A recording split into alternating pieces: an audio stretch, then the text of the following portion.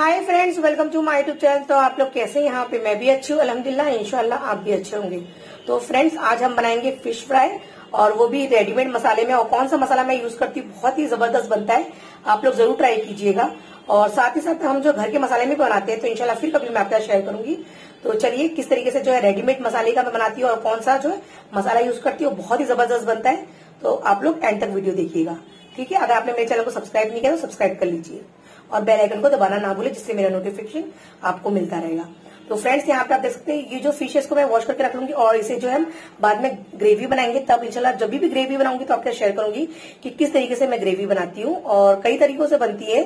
तो फ्रेंड्स मैं अपनी जो मेरी मम्मी की स्टाइल में, वो मैं आपके शेयर करने वाली हूँ इनशाला इस जो, ये वाली जो फ़िश है तो इसको मैं वॉश करके बाद में बनाऊँगी बस इसको रख लूँगी, ठीक है? तो चलिए, अभी हम जो है फ़िश फ्राई कर लेते हैं और कैसे मसाला और कौन सा मसाला मतलब मैं यूज़ करती हूँ रेडीमेड तो फ्रेंड्स यहाँ पे मैं अच्छे से फ़िश को वॉश कर लूँगी, अच्छे से साफ़ कर लूँगी और फ्रेंड्स जैसे कि कुछ लोग जो है आटे से भी सफ़ाई करते हैं फ़िश की तो मैं यहाँ पे जो है चार पाँच पानी अच्छे से, एकदम अच्छे से उसको धो लूँगी, ठीक है? और चाहे तो आप आटा लगा के अच्छे से जो है थोड़ा देर रख के इसको अच्छे से मसल के वॉश कर सकते हैं, ठीक है? आटे से भी। तो आटे से क्या होता है? स्मेल भी निकल जाती है और अच्छे से वॉश भी हो जाता है। तो मैं तो ऐसे डायरेक्ट ही वॉश कर रही हूँ। तो चार से पाँच पानी में इसमें वॉश कर लूँगी, ठीक है फ्रेंड्स? वॉश करने के बाद मिलते हैं। फ्रेंड्स, यहाँ पे जो मैं फ़िश को जो अच्छे से वॉश कर ली, और यहाँ पे आप देख सकते हैं, जो रेडीमेड जो है, टिक्का मसाला आता है, शाही का आता है, रॉयल का, ऐसे काफ़ी सारे जो है कंपनी के मसाले आते हैं। तो मुझे जो है, सबसे अच्छा जो बेस्ट लगता है, वो शाही का लगता है। और ये फ्रेंड्स, यहाँ पे जो है, रॉयल है। तो यहाँ पे आप देख सकते हैं यूज़ कैसे करना है, यहाँ पे लिखा रहता है। आप चिकन के साथ, मटन के साथ फ़िश के साथ, झींगा बोम्बिल एक्सेट्रा आप सबके साथ में इसको यूज़ कर सकते हैं।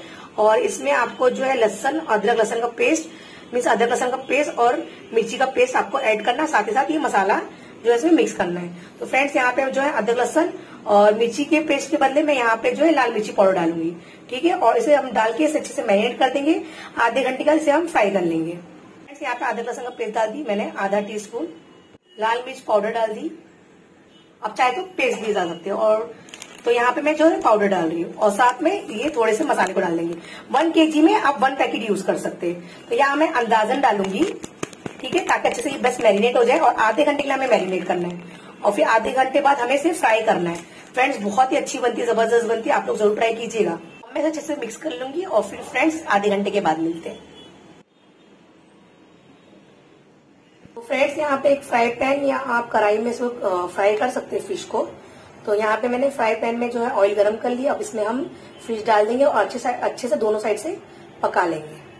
तो फ्रेंड्स, यहाँ पे जो है आधे घंटे से मैंने इसे मैरिनेट करके रखी थी। तो चलिए अब इसे फ्राई कर लेते हैं। तो फ्रेंड्स, यहाँ पे हम अच्छे से दोनों साइड से फ्राई कर लेंगे। और फ्रेंड्स, आप चाहे तो डीप फ्राई भी कर सकते हैं।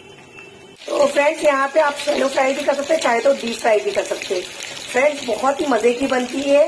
तो आप लोग ज़रूर ट्राई कीजिएगा। और मैरिनेट भी काफ़ी अच्छे से हो जाती है ये। और जो टेस्ट में भी काफ़ी अच्छा होता है मसाला। तो आप लोग ज़रूर ट्राई कीजिए और कमेंट्स कीजिए।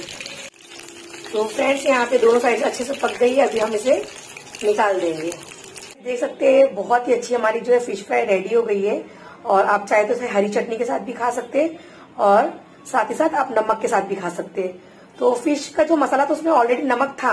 पर आप चाहे तो ऐसी जो है फ़िश को आप नमक लगा के भी खा सकते हैं। काफ़ी टेस्टी लगता है। आप ये तरीके से भी ट्राई कीजिएगा। और साथ ही साथ हरी चटनी और जैसे कि नींबू डाल के कोतमीर नींबू, मिर्ची, पुदीना आप डाल के इस तरीके से ग्राइंड करके हरी चटनी बना के भी इसको खा सकते हैं। और साथ ही साथ या तो नमक के साथ भी बहुत ही अच्छी लगती है। तो आप लोग ट्राई कीजिए और किस तरीके से आपने खाए तो आप लोग मुझे कमेंट करके बताना और आपको ये फ़िश कैसी लगी। तो आज के लिए इतना ही। थैंक यू नेक्स्ट वीडियो मिलते हैं। जब तक के लिए अल्लाह हाफिज।